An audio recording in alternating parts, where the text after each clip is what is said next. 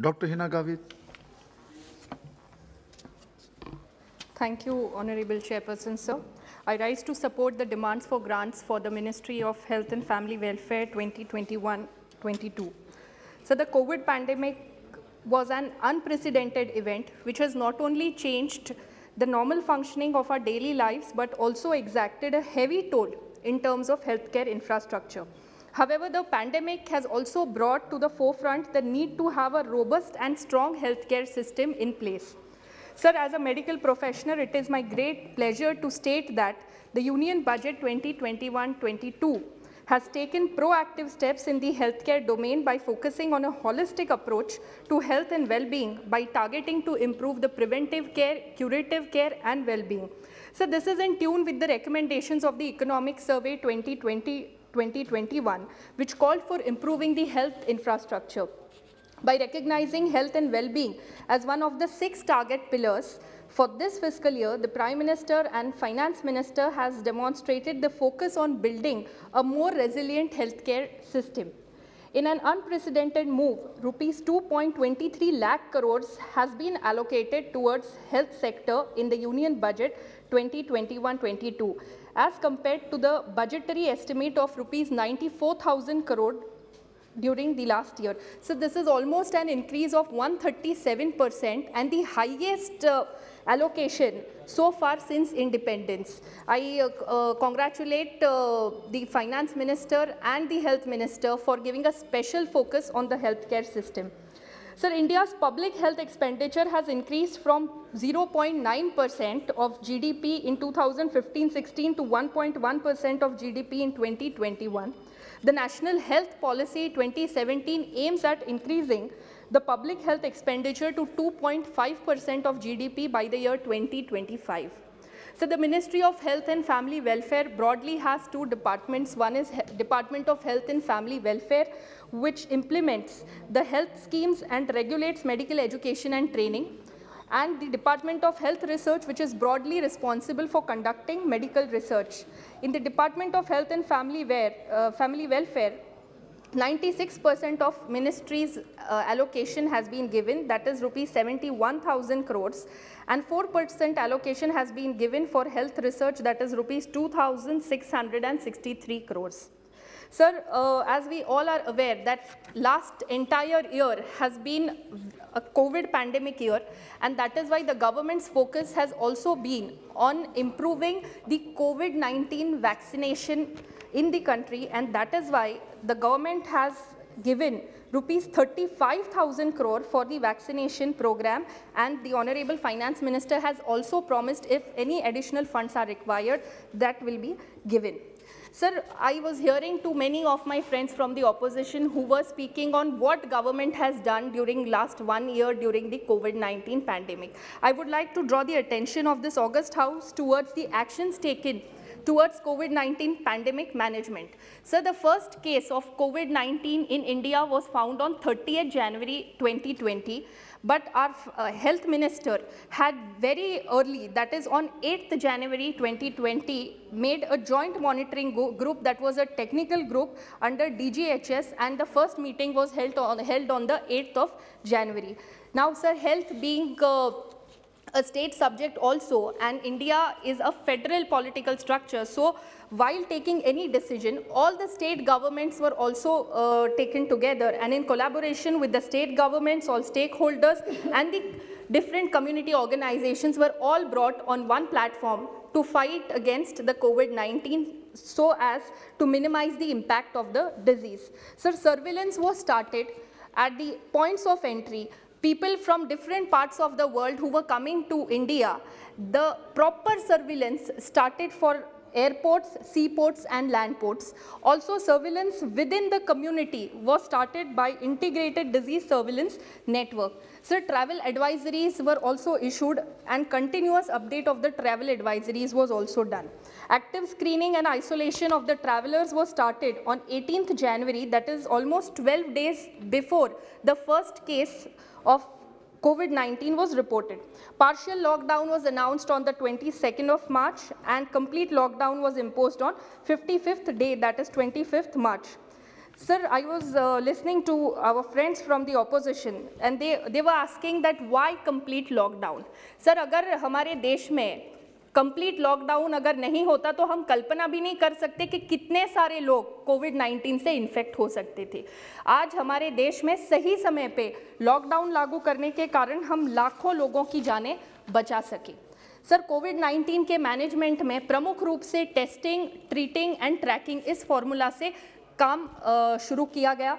Covid 19 ये एक वैश्विक महामारी से पूरी दुनिया जब पीड़ित थी और ख़ास तौर पे सर हम लोग जब वेस्टर्न कंट्रीज़ की बात करते हैं जिन्हें हम डेवलप कंट्रीज़ मानते हैं जहाँ सारा हेल्थ इंफ्रास्ट्रक्चर उपलब्ध है उन कंट्रीज़ को भी अपने लोगों को अप, वो इस वैश्विक महामारी से बचा नहीं पाए और हम जो आंकड़े देखते हैं कि जो डेवलप कंट्रीज़ है, वहाँ पे सबसे ज़्यादा मॉर्टेलिटी उन देशों में हुई है। एक तरफ़ हमारा भारत देश, जहाँ 130 करोड़ आबादी है, और हमारे यहाँ उतना हेल्थ इंफ्रास्ट्रक्चर उपलब्ध नहीं था, लेकिन ऐसे में हमारे देश के यशस्वी प्रधानमंत्री जी ने लॉकडाउन के समय एक संपूर्ण dedicated Covid 19 clinical management framework तैयार किया, जिसमें हज़ारों Covid care centres Covid health centres and Covid dedicated hospitals जिसमें प्रमुख रूप से फोकस था आइसोलेशन बेड्स पे ऑक्सीजन सपोर्टेड बेड्स से आईसीयू विथ वेंटिलेटरी सपोर्ट इन सभी पे स्पेशल फोकस दिया गया। और हमारे देश में, क्योंकि इंफ्रास्ट्रक्चर लिमिटेड होने के कारण कई जगह टेम्परेरी हॉस्पिटल्स बनाए गए, जो कि डेडिकेटेड कोविड 19 मैनेजमेंट सेंटर्स की तरह काम कर रहे थे। आइसोलेशन बेड्स की संख्या बढ़ाकर 1.5 मिलियन की गई। और 0.25 million oxygen supported beds 80,000 ICUs and 40,000 ventilators की व्यवस्था की गई। हम सभी यह जानते हैं कि ventilators PPE kits N95 mask ये हमारे देश में नहीं बनते थे हम सारे इंपोर्ट करते थे। तो हम कोविड की इस चुनौतीपूर्ण समय में हमारे देश में पीपीई किट्स का निर्माण शुरू हुआ। टेस्टिंग किट्स का निर्माण शुरू हुआ वेंटिलेटर्स N95 मास्क इत्यादि यह सभी वस्तुओं का निर्माण ये लॉकडाउन के समय हमारे देश में शुरू हुआ। और हम संपूर्ण अगर लॉकडाउन का पीरियड अगर हम देखें तो ऐसा हमें कहीं भी महसूस नहीं हुआ कि कहीं पीपी किट्स कम पड़े या कहीं N95 मास्क नहीं आ, मिले। सभी जो डिमांड और सप्लाई का गैप था वो पूरी तरह से पूर्ण करने का काम ये सरकार ने किया। सर, जनवरी 2020 में अगर हम देखें तो देश में केवल एक टेस्टिंग लैब थी। आज हमारे देश में 2410 लैब्स की निर्मित इस पिछले पूरे एक साल में की गई है। और इसका कारण यह था कि अर्ली अगर आइडेंटिफिकेशन होता है केसेस का तो सही समय पे उनका ट्रीटमेंट हो सकता है। हमारे प्रधानमंत्री जी ये जानते हैं कि low testing will lead to under reporting. और इसीलिए भारत में 225 मिलियन कोविड 19 टेस्टिंग्स किए गए, जो आज दुनिया का सेकेंड हाईएस्ट टेस्टिंग का नंबर है। सर रिस्पॉन्स स्ट्रैटेजी का एक महत्वपूर्ण भाग यह भी था कि हमें रैपिड अपस्किलिंग और capacity building of health care and frontline workers करना पड़ा। क्योंकि कोविड 19 पैंडेमिक ये पहली बार हमारा पूरा देश फेस कर रहा था और इसमें हमें हमारे जो फ्रंटलाइन वर्कर्स है, इनको प्रॉपर ट्रेनिंग देना, इनको स्किलिंग करना, ये भी बहुत ज़रूरी था। तो यह काम भी हमारी सरकार ने की। किया ऑनलाइन ट्रेनिंग पोर्टल शुरू किया। इस ऑनलाइन ट्रेनिंग पोर्टल पे जो हेल्थ केयर वर्कर्स थे, इनका भी ट्रेनिंग हुआ फ्रंटलाइन वर्कर्स का भी ट्रेनिंग हुआ और उसी के साथ साथ कम्युनिटी बेस्ड ऑर्गेनाइजेशंस वॉल्टियर्स का भी ट्रेनिंग करवाया गया। इसके कारण 16 million strong army of Covid warriors हम हमारे देश में बना सके। Sir ANM ASHA worker anganwadi workers की भी मदद से प्रचार प्रसार का काम किया गया सर्वे का काम किया गया print media, electronic media, social media के माध्यम से लोगों को जो अफवाहें कोविड 19 के समय में हमने सबने एक देखा कि बहुत सारी अफवाहें इस बीमारी के बारे में स्प्रेड हो रही थी। तो सही जानकारी देने का काम ये भी सोशल मीडिया, प्रिंट और इलेक्ट्रॉनिक मीडिया के माध्यम से सरकार ने किया। सर, एक आरोग्य सेतु ऐप लाकर हमारे देश में एक्टिव सर्विलेंस और कॉन्टैक्ट ट्रेसिंग की भी एक बहुत बड़ी मदद ये आरोग्य सेतु ऐप के कारण हुई और इसके कारण जो इवॉल्विंग हॉटस्पॉट्स थे उसका सरकार को सही सही समय पे जानकारी मिलती गई और सही तरीके से वो आ, सारा इवॉल्विंग हॉटस्पॉट को मैनेज किया गया। सर, वैक्सीन रिसर्च का काम भी शुरू था।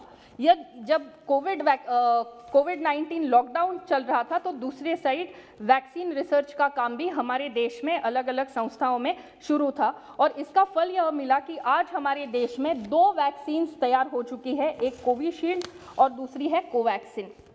सर वैक्सीनेशन ड्राइव की बात करते हुए मैं ये बोलना चाहूँगी that Covid vaccination drive is the world's largest vaccination drive so far which has been launched by our honourable prime minister on 16th January 2021. Government of India established a national expert group on vaccine administration for COVID-19 to provide guidance on all aspects of COVID-19 vaccination, including prioritization of population, procurement, inventory management, vaccine selection, vaccine delivery, tracking mechanism, etc. Two vaccines made in India. One is Covishield, which is manufactured by Serum Institute of India, and second is Covaxin, which is manufactured by Biotech Bharat International Limited. This vaccine, which is prepared by Bharat Biotech, is researched and developed in India under the Atmanirbhar Bharat scheme. Sir, in addition to these two vaccines, so many uh, people who are speaking here were talking of what if the vaccine will get exhausted. Sir, I would like to draw the attention of the entire House to the fact that in addition to these two vaccines, seven other vaccines are in clinical trial and 12 additional vaccines are in preclinical trial stage of development. The group that was formed for prioritizing certain population groups for vaccination was based on extensive review to maximize the COVID-19 vaccination drive impact.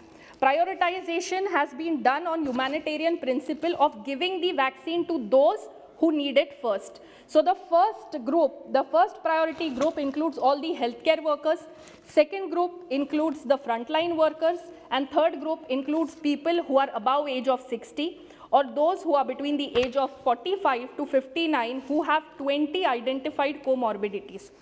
Sir, COVID-19 vaccination utilizes the existing infrastructure of the universal immunization program of including the cold chain system. Capacity building of an entire human resource has been conducted in a cascade manner. So when vaccination program had to be started, people who are vaccinators or the team of the people in the vaccination group also had to be trained. So that training part is also being done. Sir, so far 2.64 lakh vaccinators and 4.76 lakh other vaccination team members are trained.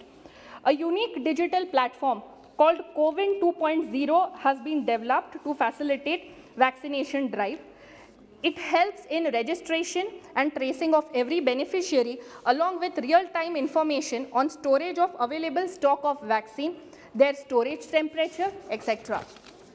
Sir, as on 11th March 2021, a total of 2.57 crore doses have been administered to 2.10 crore beneficiaries, of which around 47 lakh beneficiaries have completed both the doses scheduled.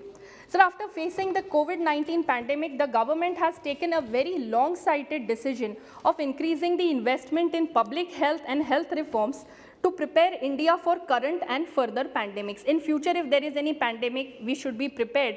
And keeping that in mind, this budget has majorly given two, uh, focused on two different parts. One is short term, that is on COVID management, and second is long term, so as to prevent further uh, any such pandemics in the country. The COVID-19 pandemic has brought forth the public health challenges and related needs to strengthen health system to make it more resilient and responsive to emergent health situations. Sir, the Union Finance Minister announced the launch of a new centrally sponsored scheme, the Pradhan Mantri Atmanirbhar Swasthya Bharat Yojana, with an outlay of rupees 64,180 crore over six years. This scheme aims to strengthen the health infrastructure by seeking to improve primary, secondary and tertiary health care centers along with existing and future national institutions working in the sphere of detection and cure of new and emerging diseases. This will be in addition to the National Health Mission. The main interventions under this scheme is support for 17,788 rural and 11,024 urban health and wellness centers, setting up of integrated public health labs in all districts, establishing critical care ho uh, hospital blocks in 602 districts and 12 central institutions, strengthening of the National Center for Disease Control, its five regional branches and 20 metropolitan health surveillance units, operationalization of 17 new public health units and strengthening of 33 existing public health units at point of entry, setting up of 15 health emergency operation centers and two mobile hospitals and setting up of national institution for one health. Sir, just two, three points, sir. Quick. A regional research platform for WHO Southeast Asia region, nine biosafety level three laboratories and four regional national institutes of virology. Sir, Pradhan Mantri Jan Arogya Yojana, which is meant for improving access to hospitalization services at secondary and tertiary levels, is also focused and uh, given uh, increased budget under this, uh, this year's budget allocation. Sir, along with this, a special focus has been on the Mission Poshan 2.0. Sir, when on one side we are fighting COVID-19 pandemic, along with that, we are also battling the issue of malnutrition, undernutrition. A special focus has been given on this also by merging the supplementary nutrition program and the Poshan Abhiyan together is now Mission Poshan 2.0 and a total budget allocated is rupees 20,105 crore. The allocation for the social services sector which includes nutrition and social security and welfare has increased from rupees 2,411 crore to rupees 3,575 crore.